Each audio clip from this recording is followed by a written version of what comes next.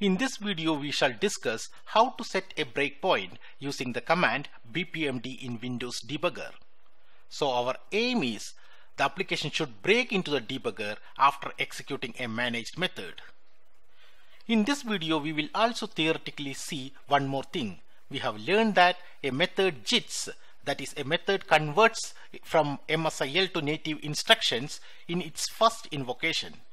JIT compiler will not be called for the subsequent invocation. We will also prove this in this demo.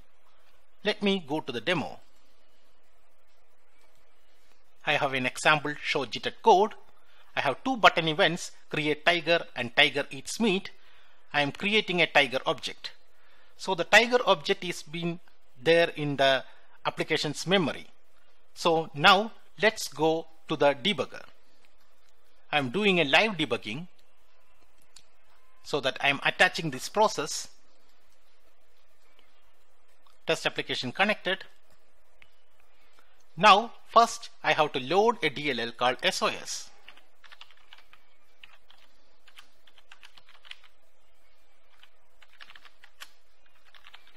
This is because SOS DLL contain .NET debugging commands.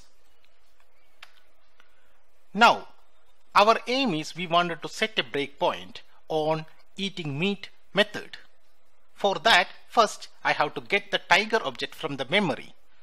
Since we have created the tiger object, let's search it.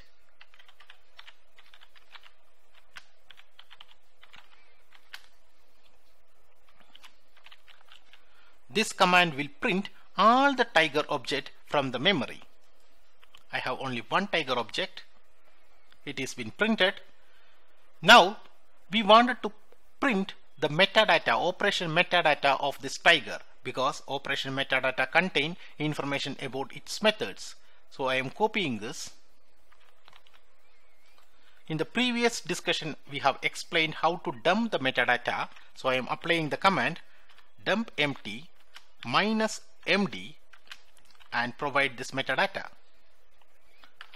So all the methods of this class has been printed. We can see the constructor tiger eating meat method, right?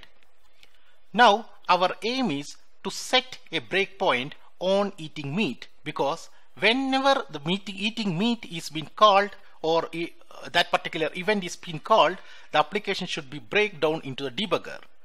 So I am copying the method description of eating meat because our breakpoint command requires this parameter.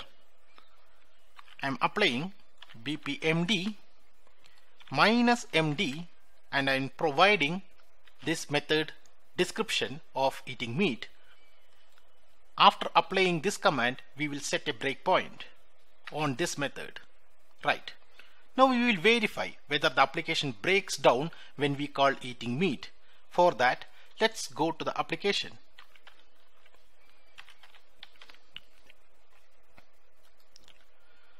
Now, this is my second event, tiger eats meat, which will call the eating meat function. Let's see it breaks down to the debugger. I'm applying. Yes, now it breaks into the debugger, right?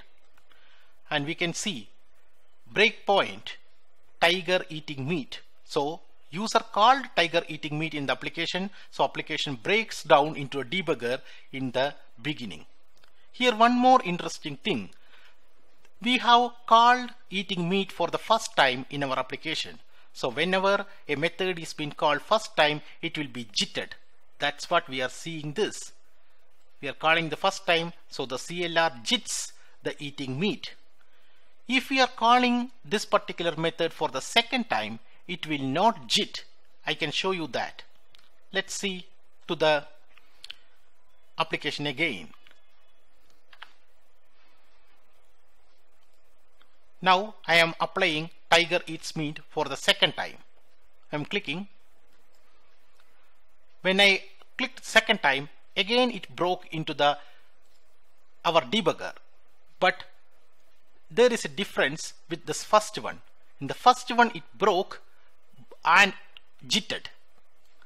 Second time we have simply went to the applications uh, I mean uh, eating meats beginning. But there is no jittered.